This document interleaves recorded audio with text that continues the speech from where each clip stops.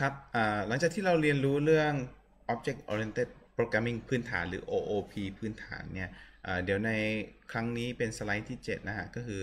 อเดี๋ยวเราจะเรียนรู้เกี่ยวกับเรื่อง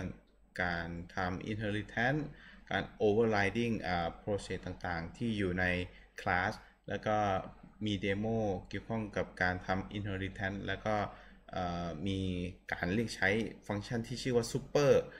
เดี๋ยวมาดูกันว่า super คืออะไรนะแล้วก็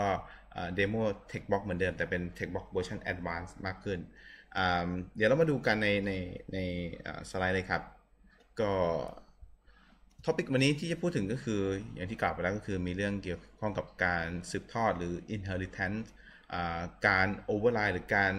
บังคับให้ฟังก์ชันทำบางอย่างนอกเหนือจากที่ Python กำหนดไว้ หรือว่าที่กำหนดไปแล้ว การ override คือการบังคับให้คลาสมีพฤติกรรมตามที่เรากำหนด แล้วก็ demo ของสี่เหลี่ยมผืนผ้ากับสี่เหลี่ยมจัตุรัสซึ่งผมใช้ demo นี้สอนมาประมาณ 4-5 ปีแล้ว work มาก แล้วก็คำฟังก์ชันอื่นที่ชื่อว่า super ซึ่งเป็น super นี่เป็นเป็นฟังก์ชันพิเศษที่ใช้ในการอ้างอิงถึงบรรพบุรุษบรรพบุรุษ ของคลาสแล้วก็เป็นเดโมของของ textbox นะฮะ ทีนี้ทีนี้เราเราจะดูคลาสนะฮะก็คือคลาสอันนึงก็คืออยู่ทางด้านซ้ายมือผมด้านนี้เป็นเป็นคลาส textbox คลาสอีกด้านหนึ่งก็อยู่ทางด้านด้านด้านนี้ด้าน rectangle นะฮะ ทีนี้ในในในที่นี้ก็คือขอเนี้ยผมผมเนี่ยเอาหน้าตัวเองออกนิดหนึ่งนะฮะ ก็คือในในคลาสเนี่ย สมมติเรามีคลาส textbox อยู่ แล้วคลาส textbox เนี่ยสามารถสร้าง instance ขึ้นมา 1 อันได้ ไม่ไม่แปลกฮะสร้าง instance กี่อันก็ได้จริงๆแล้ว ไม่กำหนดแล้วแต่ว่าเราจะเขียนโค้ดเลยว่าเราอยากได้กี่อันเป็นเท่าที่หน่วยความจำเรายังมีอยู่ เราก็สร้างคลาสเอตัวนี้สร้าง instance ขึ้นมาได้ ทีนี้อันนึงที่ concept ที่ advance มากขึ้นก็คือ สมมติผมมีคลาส TextBox อยู่ แล้วผมอยากสร้างคลาสใหม่ที่มีพฤติกรรม บางอย่างเนี่ยคล้ายกับ TextBox เดิม เพียงแต่ว่าต่างนิดเดียวตรงที่ผมเปลี่ยน Top Line กับ Bottom Line เนี่ยให้กลายเป็นตัว A แล้วผมเรียกคลาสนี้ว่า TextBox A เพราะมันมีตัว A อยู่เยอะเลยเห็นไหมผมก็เลยเรียกว่า TextBox A ส่วน TextBox B เนี่ยมีความต่างตรงที่ผมใช้แทนที่จะเป็นเทคธรรมดาเนี่ยเทคตัวนี้จะถูก upper case ก็คือทำให้กลายเป็นตัวพิมพ์ใหญ่ทั้งหมด นั่นคือความสามารถของ textbox B นะฮะสังเกตฮะ textbox textbox A เนี่ยทุกที textbox ธรรมดาที่เป็น base เนี่ยพฤติกรรมเหมือนกับที่เรา implement มาใน lecture ที่แล้วเนี่ยในใน lecture ที่ 6 เลย แล้วก็ textbox A เนี่ยเปลี่ยนนิดนึงพฤติกรรมคือให้ให้มี top line เป็น A กับ bottom line เป็น A ส่วน textbox B เนี่ยเปลี่ยน content ที่อยู่ข้างในให้กลายเป็น upper case อะมาดูกัน ถัดมาอีก demo หนึ่งก็คือเราจะทำ rectangle ซึ่งเป็นสี่เหลี่ยมนะ สี่เหลี่ยมแน่นอนมี width มี height มี width มี height ตามปกติ แต่ว่าเรามีสี่เหลี่ยมอีกประเภทหนึ่งที่เป็น square ซึ่ง square เนี่ยมีข้อโดดเด่นต่างจาก rectangle คือ width กับ height เขาต้องเท่ากันตลอดอ่านั่นคือนั่นคือพฤติกรรมของ square นะฮะซึ่งเดี๋ยวเดี๋ยวเราจะใช้วิธีการสืบทอดเนี่ยในการสร้างคลาสเหล่านี้จากเบสคลาสที่มีอยู่ เราจะเรียกหมอเนี่ยว่าเป็น parent จะหมอนี้เป็นชายเป็นลูกลูกของเขาลูกก็ต้องมีบรรพบุรุษถูกไหม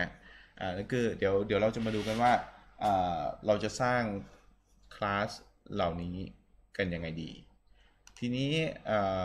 เดี๋ยวผมขออนุญาตดูในสไลด์ถัดไปครับ ทีนี้ที่เราจะดูกันในตรงนี้คือที่ที่อยู่ในสไลด์ก็คือเป็นการสืบทอดพฤติกรรม สืบทอดบางคนเรียกว่าสืบทอดทางพันธุกรรม หรือว่ามันคือพฤติกรรมของคลาส เราอยากให้คลาสพ่อแม่เนี่ยสามารถส่งพฤติกรรมบางอย่าง หรือว่า coding ที่เรา implement ไปแล้วเนี่ยให้กับรุ่นลูก ซึ่งเราก็ไม่ต้องไป implement หลาย ๆ อย่างใหม่ในรุ่นลูก ยกตัวอย่างเช่นเรามาดูกันนะฮะ สมมุติว่าเรามีเรามี demo หนึ่ง demo นี้ demo ใน demo เนี้ยเราเรามีคลาส A อยู่ เรามีคลาส A อยู่ ซึ่งคลาส A เนี่ยมี data member width เท่ากับ 3 อยู่ มี width เท่ากับ3คลาส A เนี่ย inherit มาจาก Python Object เป็นเป็นเป็นอ่า Object พื้นฐานของ Python เลย ซึ่งอตอนนี้ยังไม่มีอะไรมาก ยังไม่มีอะไร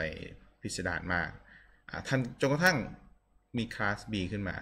คลาส B เนี่ยมีความสามารถเหมือนกับคลาส A เลยเหตุผลเพราะว่าเขาสืบทอดสังเกตนะเขาสืบทอดพฤติกรรมทั้งหมดของ A มา อะไรที่ A มี B จะมีด้วยอ่าอันนี้อันนี้ ผมพูดสั้นๆนะอะไรที่คลาส A มีจะถูกส่งถ่ายให้คลาส B ด้วยอะนั่นหมายความว่าอะไร หมายความว่าทันทีที่เราทำแบบเนี้ยวิด จะถูกสร้างขึ้นทันทีในคลาส B โดยที่ไม่ต้องบอก เพราะว่าเขาสืบทอดพฤติกรรมมา เขาสืบทอดพฤติกรรมมา แต่เราทำเพิ่มตรงที่เราเพิ่ม height ถ้า object เข้าไป ดังนั้นสิ่งที่มันจะเกิดขึ้นก็คืออใน x เนี่ย ถ้าเราสร้าง x มาจาก a นะฮะ เราก็จะมี width ทันที ในขณะที่ถ้าเกิดเราสร้าง y จาก b เราก็จะได้อ่าอ่า width กับ height พร้อมกัน เพราะว่า เขาสืบทอด width มา สังเกตนะในในเดโมนี้เราผมผม print x width แล้วก็ print เอ่อ y width กับ y height สังเกต y width เนี่ยจริงๆ ในคลาส b ไม่มีคำว่า width อยู่เลยนะฮะ แต่ว่าเนื่องจากการสืบทอดเขาเลยมีคำว่า width อยู่ ประเด็นที่อยากชี้ให้เห็น อะ สรุปในในในสไลด์นี้นะก็คือเอ่อ width เนี่ยถูกสืบทอดไปอยู่ในคลาส b ด้วย ทั้งทั้งที่ b เนี่ยมีแค่ height แต่ว่าเราสามารถปริ้นเอ่อสังเกตนะ y เนี่ยถูกสร้างมาจากคลาส b แล้ว y เนี่ยสามารถดึงข้อมูลจาก width y width ได้ นั่นหมายความว่าข้อมูล width เนี่ยมันมาจากบรรพบุรุษของเขามาจากคลาส A สังเกตนะฮะ width อันนี้ถูกใส่เข้าไปในคลาส A ซึ่ง A เอาไปใส่ใน B แล้วพอเราสร้าง construct y ขึ้นมาจากคลาส B เนี่ย เราก็จะมีเจ้าเอ่อ width ปรากฏขึ้นด้วยโดยทันที โอเค อันนี้คือคือคือพฤติกรรมอันหนึ่งที่ที่คลาสใน Python ทำได้ เดี๋ยวเรามาดูกันว่าเราจะใช้มันทำอะไรได้บ้าง ในสไลด์ถัดไปครับ